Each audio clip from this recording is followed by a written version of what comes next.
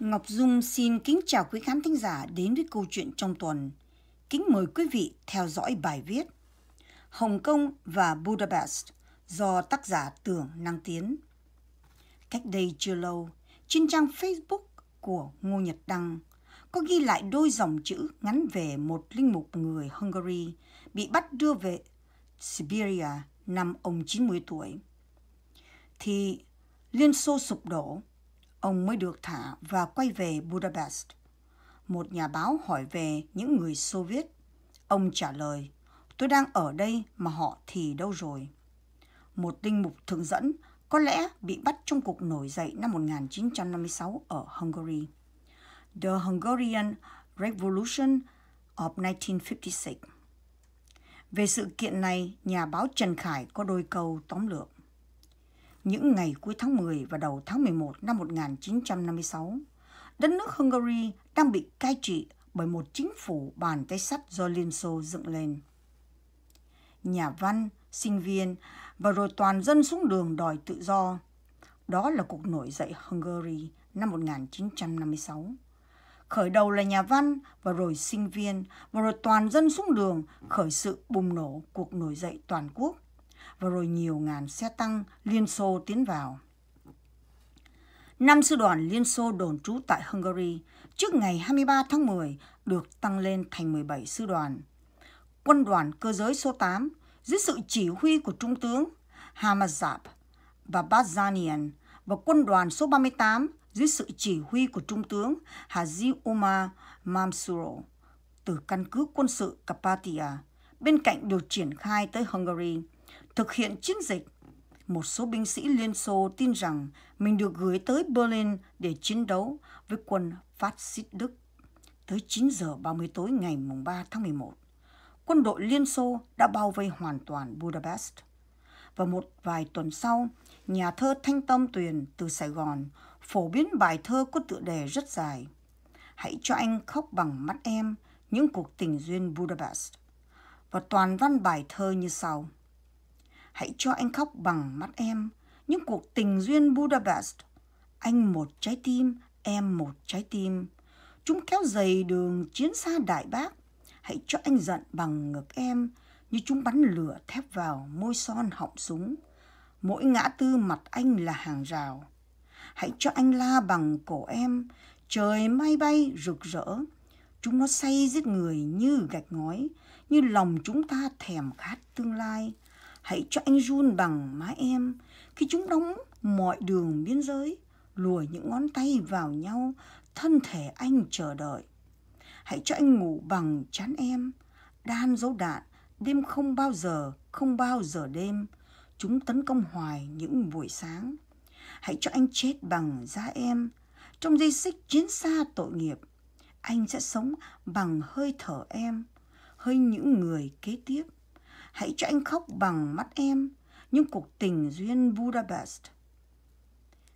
12 56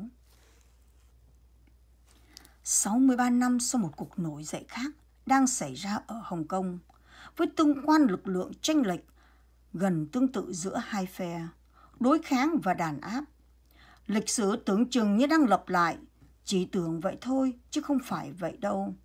Thời gian, thời thế và thời đại đã khác hẳn rồi. Phe xe tăng không còn đất nữa. Toàn thể nhân loại đều đang hướng về hương cảng và ánh mắt lo âu cùng chia sẻ.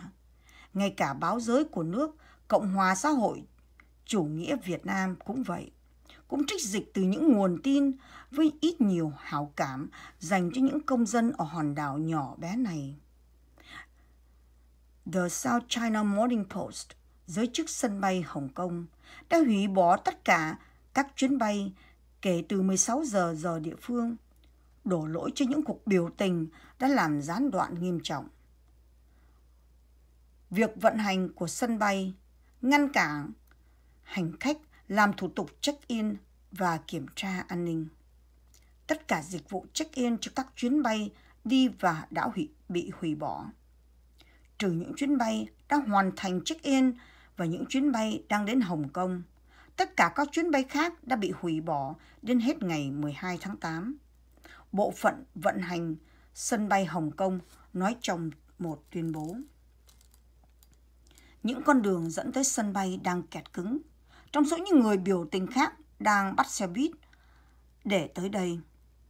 Một số đã xuống xe để đi bộ đến sân bay. Đây là ngày thứ tư của cuộc biểu tình tại sân bay Hồng Kông trên đảo Lantau.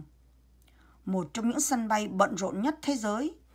Vào hôm 11 tháng 8, xung đột đã leo thang giữa người biểu tình và cảnh sát tới các đám biểu tình chơi trò mèo vờn chuột với cảnh sát khắp các khu vực của Hồng Kông như Simshasu, Po, Quai Trung và Causeway Bay. Ngày 11 tháng 8, kết thúc bằng cảnh tượng chưa từng có khi cảnh sát bắn hơi cay vào một trạm tàu điện ngầm ở Quai Phong.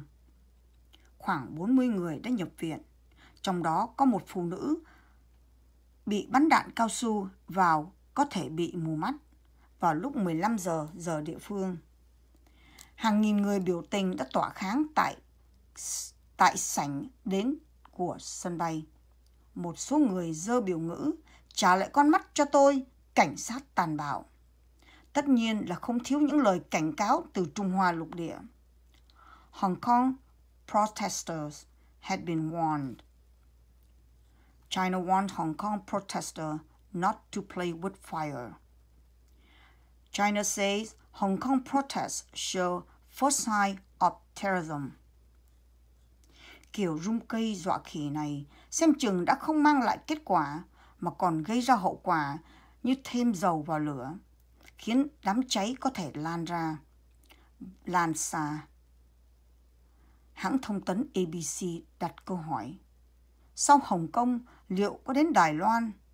After Hong Kong protest, is Taiwan the next flashpoint in our region?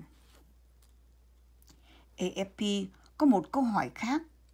Trung Hoa dám liều lĩnh thêm một thiên an môn khác ở Hồng Kông chăng?